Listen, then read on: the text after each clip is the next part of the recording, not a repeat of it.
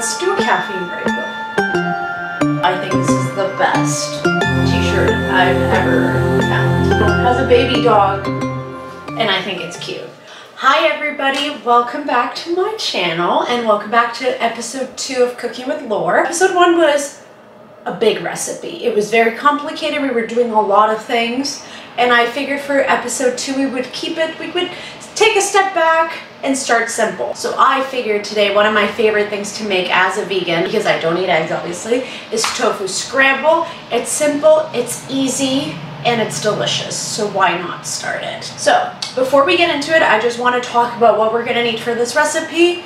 Now again, I'm really bad at measuring things when I cook but I'm gonna try my best to try to give you somewhat of an idea of what we're doing today. Okay, so obviously since we are making tofu scramble, we have a block of tofu. Now, personally, I prefer extra firm tofu. I think that because it has less water content, it just, the consistency of it really, really resembles scrambled eggs and that's what we're trying to imitate here today. So that's just my personal reference. If you prefer a medium or soft firm tofu, that's up to you. You do you, boo. Now this tofu has been pressed for about, I'm gonna say 30 minutes. I just put it in between two paper, paper towels and then you put something heavy on top. If you have a tofu presser, I'm very jealous, I wish I had one, but if you don't have one, uh, just like a book, maybe a huge, I just did a huge pan and put it on top. Just so all that extra juice can come out of it and um, our tofu scramble is not too watery. We're also gonna add some greens because I like adding greens to everything.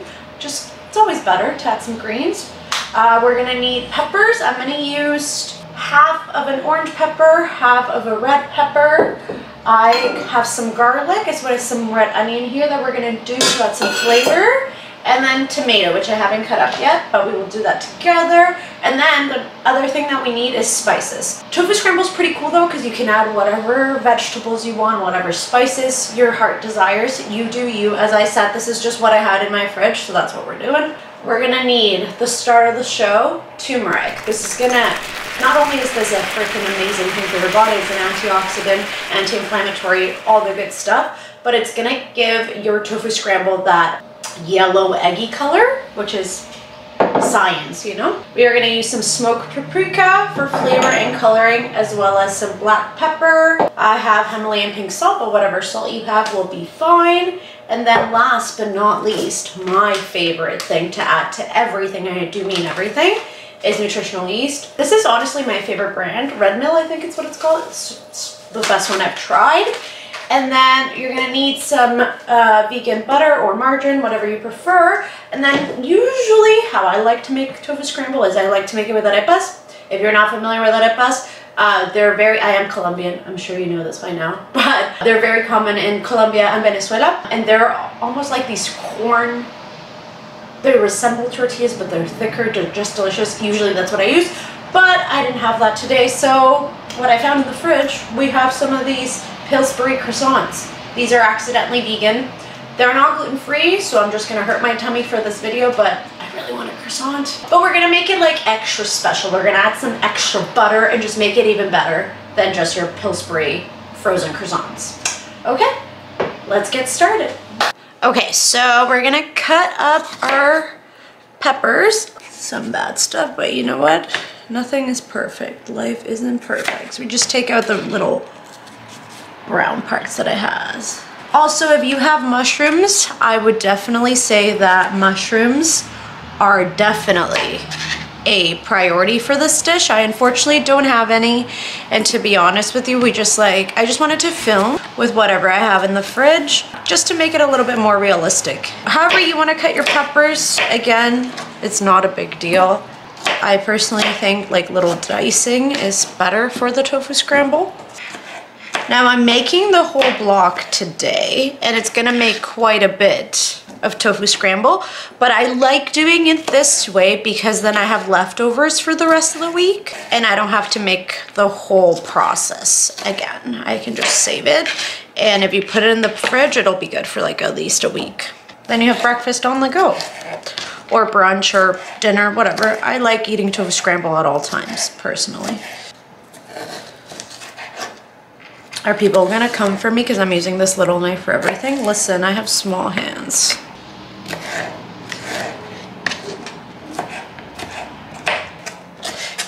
As you can tell, I don't really pay attention to them being the same size. This is tofu scramble. This is, we're not in a five-star restaurant here. So that's that. So, okay. We've got our peppers here. We've got a mix of the red and the orange in there. I just like to give them a bit of a mix. I diced the tomatoes as well. They're not the best looking tomatoes, but I want to just use them up because I hate wasting food. So that's that. I think our next step is I'm to grab our block cut tofu. As I said, I am to use the whole thing just because I can use it for the whole week. I like to take half of it and then cut it in a quarter and then you're gonna use your hands for this you're just gonna crumble the tofu. This is what's gonna give it that scrambled eggs texture and look and that's what we're going for here. This is just to your liking. If you like chunkier tofu do it chunkier. If you want more fine pieces you can do it like that as well like I said it is quite important that you press your tofu before doing this because as you can tell, like it is pretty dry. There's not extra water coming from it. If you don't press your tofu, you're gonna get a lot of extra water and it's just not, it's gonna change the flavor of the tofu, the texture of the tofu. We're already adding a lot of veggies which are high in water content. Okay, if you see any big pieces, just go back in. Don't be afraid to get your hands dirty. And I, again, if you want to do it all at once, you can do that. I like doing it by pieces so that it's a little bit more uniform. I'm very particular about how I do things, but you do you. Do we like my nail polish color? I think it's cute. It's like a nice baby pink. I've started doing my own nails ever since quarantine, so I bought like a gel kit and all that stuff. And I'm trying to get into nail art, but I'm trying to let my nails grow a little bit just because my nails are quite short and I have little baby hands. I feel like nail art just doesn't look good as good as when your nails are longer but that's just me. We've got our tofu in here. I'm just gonna, again, just set it aside. And I'm gonna grab my little dandy, I love, how cute is this? How cute is this little bowl? I think it's the cutest thing ever. And I'm just gonna put a little bit of my spices in here. So, again, I don't usually measure when I do these things, but we're trying to be professional here. So I'm gonna grab like a half teaspoon and start with that. Yeah, that's actually good.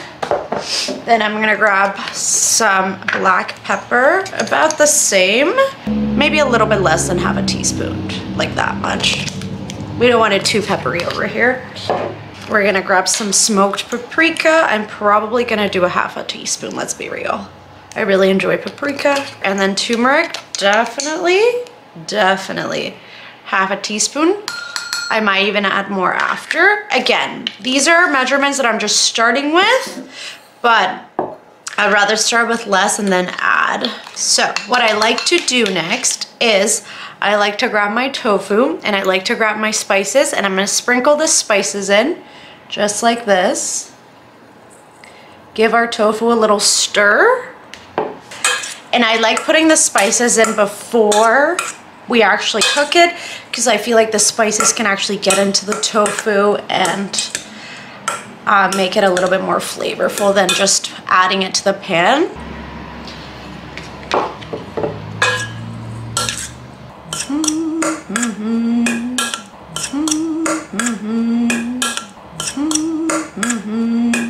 This looks pretty good actually. I'm gonna leave this because again, it's easier to add rather than take away and we don't know if I put too much salt. We'll have to do a tasting but for now we're just gonna put that on the side. We're gonna let our tofu marinate in our spices for a little bit and then our next step is we're actually gonna start cooking. Okay so first thing I'm gonna do is add olive oil to this. You can use olive oil or whatever oil you, you're using. Just don't use canola oil. Your insides will hate you. And the first thing you should always cook is your garlic and your onion because that's what holds the most, most flavor. It's, you wanna get that golden brown and it usually takes the longest to cook. Our peppers and our tomatoes don't take a long time to cook, so that's why you wanna cook these first. As you can see, we're just letting that get golden brown. We're starting to caramelize a little bit. It, take your time, honestly, this is what's gonna give your tofu scramble that flavor. I wish there was like a smell-o-vision with YouTube because This actually smells incredible. I just really love the smell of garlic and onion. We're gonna add our tomato next. I diced it up. This tomato is not looking the best. It's juicy, but that's okay. I'm gonna put this back on the burner and just let that cook for a little longer and then we're gonna add our peppers. This might be very Colombian of me. The way that we eat scrambled eggs in Colombia is we eat huevos perico and huevos perico means it has to have garlic, onion, and it has to have tomato. And you need to let this fry up for a bit. Get that tomato to like lose the firmness and just get all that flavor out. Um, that's my favorite way to eat tofu scramble, and I think it's because of how I used to eat eggs. When I did eat them, and especially scrambled eggs, it just tastes the best. The tomato, even if you don't like tomato, I really urge you to try it this way because I just feel like the flavors that it gives with the onion and the garlic just is like next level. It almost looks like a salsa, see? But that's what we're going for. That's the flavor that we need. If any other Colombians are watching this, do you guys eat huevos pericos or is there a Bogota thing? I want to know if it happens anywhere else in the country. So the next thing I'm going to do is add our peppers. So we're just going to let this cook um, and adhere some of the flavors. And what I'm going to do actually for while this is cooking is I'm going to have my little spice mix that I had before. And I am going to add some of it to our little veggie mixture here because we want our veggies to also have a lot of flavor. Yeah, baby. Okay, I'm gonna actually get my assistant to try the, the veg and see if it needs like a little bit more salt just so I know what I'm missing flavor-wise. We are missing a little salt here, so I am gonna just add just a tiny bit of salt there. Okay, and I think we've reached that time where the tofu is actually going to be brought in. Okay, so I like to do it by layers. I like adding one layer just so that it, all the flavors can mix together. Everything's a little bit more uniform. I don't know. I just think this is the best way to do it. Doesn't even look like tofu at this point. It's a lot of tofu, as I said, but you can make it all one day and then have it for the rest of the week. It's the best way to do it. Rather than doing like little by little, I just feel like just wastes too much time. Look at this color. Does it not remind you of scrambled eggs? Crazy. And all just because of a little turmeric. Love that bitch. I'm gonna lower the heat. We're at a four right now. I'm gonna to a three and just let it sit because I like my tofu scramble to like be golden brown and thoroughly cooked. Now, while I'm waiting for the tofu to really cook through, I'm going to start the croissants. They take 10 to 12 minutes in the oven, and we're about 10 to 12 minutes from being done with this tofu scramble, so I think it's the perfect timing. I'm gonna taste it, my assistant's gonna taste it. When I say my assistant, I mean Matt, obviously. and then see what it's missing. I think I could actually, you know what? I'm gonna add the rest of the spices. And I am gonna add, I think, a little bit more salt too. You know what we're missing, and I didn't even think twice about it? Because we're missing some like garlic powder or onion powder, guys. I need something to like kickstart. So I'll be right back. Okay, I've added some garlic powder and some onion powder because it was just missing, it was missing something. I'm gonna give this a mix and then I'm gonna try it again. I think it's still missing a bit of salt. With cooking, I find that the best way to do it is just to taste it as you go. Because again, when you're following a recipe or any measurements, that's to that person's taste. You might need more salt, you might need less salt, you might want more pepper, you might want to make it spicy. You know, if you can't eat spicy food, some cayenne pepper would be like 10 out of 10 or some chili flakes in this would be really good. I unfortunately cannot have that, but okay, I'm just gonna give this a taste again because I think we're missing some salt. Yeah, missing a bit of salt. So, okay, now this is pretty cooked through. It's getting golden. I'm adding my spinach or my mixed greens. This is a mix of a bunch of greens. You can just add spinach, you could add kale. Kale's probably my favorite to do in tofu scramble. But I guess I'm using what I have in the fridge today, so Now I like to be very generous with this. You know that when you cook with any greens, you can put in like so much and it becomes nothing. So I like being generous. I, again, I like adding greens to my stuff. It makes me feel like I'm getting some of my veggies in I'm gonna turn this down to a two and I'm actually gonna just cover it and let it sit for a minute. The last thing I'm gonna add to our tofu scramble to just take it to the next level is definitely nutritional yeast. Add as much as you want. I like a lot, so I'm probably gonna put a lot, a lot, a lot, a lot, a lot, a lot, a lot, a lot, a lot, a lot, a lot of it in. Our little guys are, oh, they're almost there. This oven here is like too strong. So I'm gonna actually put them down because I find that the bottom ones are getting like not as cooked as the other ones. So I'm just gonna flip this around. Here, and here, and I'm just gonna turn it down to like a 325? 325 and just let it be for another minute. They're honestly almost ready and they look amazing.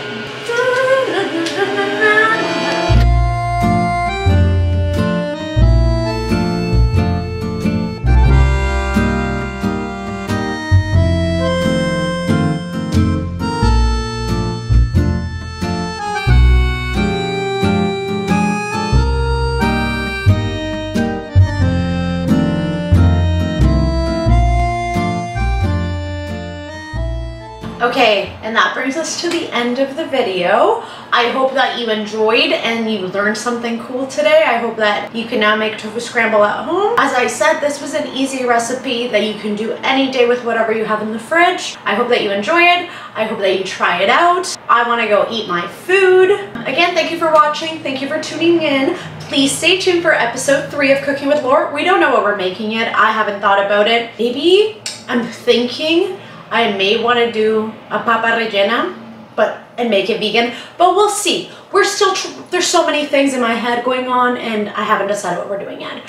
Thank you so much for tuning in. I'll see you guys next time. Please don't forget to like, please don't forget to subscribe, hit that notification bell so that you can actually see my videos. And uh, thanks for watching. Okay, bye.